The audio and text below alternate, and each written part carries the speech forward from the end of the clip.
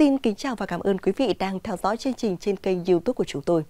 Thưa quý vị, ngày 26 tháng 12 năm 2004, chỉ một ngày sau đêm Giáng sinh, trận động đất Ấn Độ Dương hay còn được biết đến là cơn địa chấn Sumatra Andaman, một trận động đất kinh hoàng với sức mạnh lên tới 9,3 độ Richter. Cùng với những đợt sóng thần đã cướp đi sinh mạng của 225.000 người thuộc 14 quốc gia. Cho đến nay, nó vẫn là thảm họa khiến cho nhiều người thiệt mạng nhất trong lịch sử nhân loại. Thảm họa đi vào lịch sử với tên gọi sóng thần Ấn Độ Dương, sóng thần Nam Á hay sóng thần Giáng sinh. Có đến 14 nước chịu ảnh hưởng bởi thảm họa này, đó là Ấn Độ, Indonesia, Malaysia, Maldives, Myanmar, Somalia, Sri Lanka, Thái Lan, Bangladesh, Nam Phi, Madagascar, Kenya, Tanzania và Seychelles. Hơn 500.000 người đã bị thương do sóng thần, với hơn 150.000 nguy cơ mắc các bệnh truyền nhiễm do hậu quả mà thảm họa để lại sau đó. Số người thiệt mạng là khoảng hơn 230.000 và hàng nghìn người mất tích.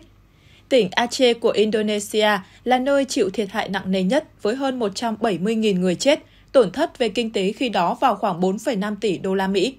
Cả một giải bờ biển ven Ấn Độ Dương chìm trong hoang tàn, tăng tóc và tuyệt vọng. Đâu đâu cũng có xác người, có những đại gia đình không còn một ai, có những gia đình bố mẹ con cái đang tận hưởng kỳ nghỉ Giáng sinh êm đềm bên bờ biển, bỗng chốc lâm vào cảnh ly biệt. Đây là một trong những thảm họa mang tính toàn cầu nhất từ trước đến nay. Được biết, trận động đất với cường độ lên tới 9,3 độ Richter này bao gồm 3 chấn động diễn ra cách nhau vài giây. Cú trượt đầu tiên của mảng kiến tạo này xảy ra về phía tây của mũi bắc quần đảo Sumatra, theo sau là hai cú trượt về phía bắc. Năng lượng khổng lồ tỏa ra từ trận động đất này được ví tương đương với năng lượng của 23.000 quả bom nguyên tử từng thả xuống Hiroshima vào cuối Thế chiến thứ hai. Có thể nói, nguyên nhân gây ra động đất là kết quả của một quá trình ép trượt diễn ra từ hơn 200 năm qua giữa hai mảng kiến tạo Ấn Độ và Burma với tốc độ 6 cm một năm. Chuyển động tương đối giữa hai mảng kiến tạo này đã tích tụ một lực ép rất lớn dọc theo đường biên của mảng Burma. Rãnh Sunda được tạo ra dọc theo ranh giới này. Các trận động đất trong khu vực này nói chung bị gây ra bởi phay nghịch trầm, trong đó phay địa chất trượt vuông góc với rãnh hoặc là do phay trượt bằng. Trong đó các loại vật liệu đất đá dịch chuyển ngang về phía đông của phay đang trượt dọc theo hướng của rãnh.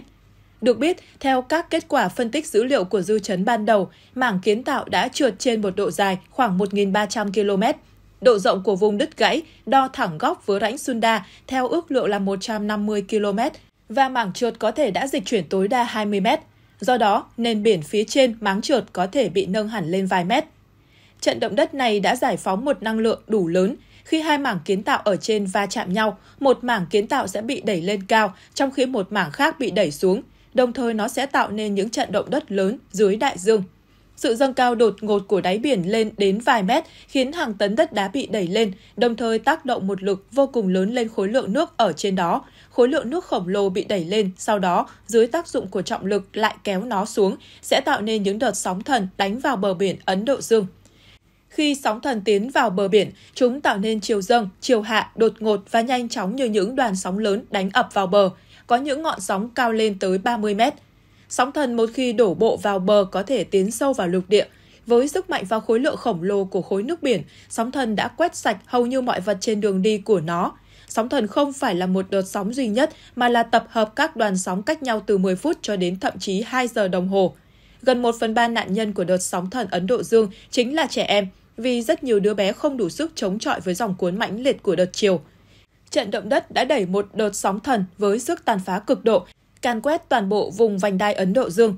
Những đợt sóng có độ cao lên tới 30 mét thật sự thể hiện sức mạnh hủy hoại khủng khiếp của nó. Hàng ngàn km bờ biển dọc Ấn Độ Dương từ Á Châu đến Phi Châu bị tàn phá nặng nề và một số hòn đảo nhỏ đã bị phủ chìm hoàn toàn. Trong vòng 15 phút đầu tiên, đợt sóng thần tràn vào bờ biển Sumatra, nơi có khu vực dân cư đông đúc là tỉnh Aceh, Indonesia. Nơi đây phải hứng chịu những đợt sóng cao nhất lên tới 30 mét. Toàn bộ mọi thứ bị cuốn phăng trong vòng vài phút – Số người chết ở Indonesia được ước tính vào khoảng 130.000 và 160.000 người, trong đó có khoảng 1 phần 3 nạn nhân là trẻ em, thêm vào đó là 500.000 người mất nhà cửa. Những con sóng khổng lồ lại tiếp tục đi từ bờ biển của Indonesia ở phía Bắc đi vào Thái Lan cũng khiến cho khoảng 5.000 đến 8.000 người chết. Sóng thần cũng di chuyển về phía đông qua Ấn Độ Dương. Tại Sri Lanka, sóng thần ập vào bờ khoảng 90 phút sau khi động đất. Mặc dù những con sóng không cao như Aceh, nhưng hậu quả tai họa cũng nặng nề không kém. Khoảng 35.000 người đã thiệt mạng và khoảng nửa triệu người khác mất nhà cửa. Ngoài ra, khoảng 15.000 người đã thiệt mạng ở Ấn Độ. Những con sóng chết thậm chí còn đi sâu đến 5.000 dặm vào Nam Phi, nơi hai người thiệt mạng. Những cảnh tượng kinh hoàng mà thảm họa để lại thật đáng sợ, xác người tràn lan, nhà cửa đổ nát toàn bộ và trở thành đống rác khổng lồ.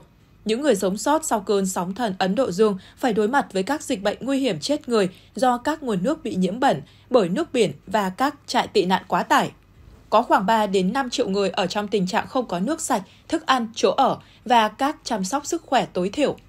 Vào thời gian đầu, đa số các tổ chức cứu trợ y tế, trong đó bao gồm tổ chức WHO, đều cho rằng dịch tả sẽ là mối hiểm họa lớn nhất với những người còn sống sót sau cơn sóng thần hung dữ ở Ấn Độ Dương. Tuy nhiên, chưa có một dấu hiệu nào về sự bùng nổ của dịch tả sau một tháng kể từ khi thảm họa sóng thần xảy ra. Bệnh viêm phổi là mối nguy hiểm chết người nhất. Các trận mưa lớn và tình trạng chỗ ở chật trội quá tải cũng góp phần tăng nguy cơ nhiễm bệnh cho các cư dân ở các nước bị ảnh hưởng trầm trọng như Sri Lanka. Trong những ngày sau thảm họa, người ta phải làm việc cật lực để chôn cất tử thi nhằm tránh bùng nổ dịch bệnh. Với số lượng người chết khổng lồ thì việc chôn cất quả là một vấn đề hóc búa. Tại Sri Lanka và Indonesia, nhằm giảm nguy cơ lây lan các dịch bệnh, họ đã sử dụng các hố chôn tập thể để chôn thi thể những nạn nhân xấu số. Đó cũng là cách giải quyết thường gặp sau mỗi đại thảm họa. Trước tình hình về những thiệt hại nặng nề như hạ tầng cơ sở, thiếu thốn nước, thực phẩm và những thiệt hại về kinh tế, dịch bệnh, chương trình Lương thực Thế giới đã trợ giúp cho hơn 1,3 triệu người là nạn nhân sóng thần. Ngoài ra, các nước trên thế giới cũng đã quyên góp số tiền lên đến 13,5 tỷ đô la Mỹ và đưa chuyên gia đến để giúp tái thiết các khu vực xảy ra sóng thần. Có thể nói, thảm họa ngày 26 tháng 12 năm 2004 là một bi kịch của thế giới hiện đại. Số phận của người thật mong manh trước sức mạnh của thiên nhiên. Cho đến nay, nỗi đau mà thảm họa để lại vẫn khiến cho nhiều quốc gia bị ảnh hưởng, cảm thấy kinh sợ, đặc biệt là Indonesia. Và một trong những lý do khiến thảm họa này gây chết chóc lớn là do không có cảnh báo sóng thần sắp xảy ra, khiến người dân không có thời gian để sơ tán dù thời gian con sóng tấn công các châu lục cách nhau nhiều giờ. Trong khi đó, thảm họa hiện nay ở Indonesia một phần là do người ta đã tắt cảnh báo sóng thần trước khi sóng thần ập vào. Quý vị và các bạn thân mến, những nội dung vừa rồi đã khép lại chương trình trên kênh youtube của chúng tôi. Cảm ơn quý vị và các bạn đã quan tâm theo dõi. Xin kính chào và hẹn gặp lại.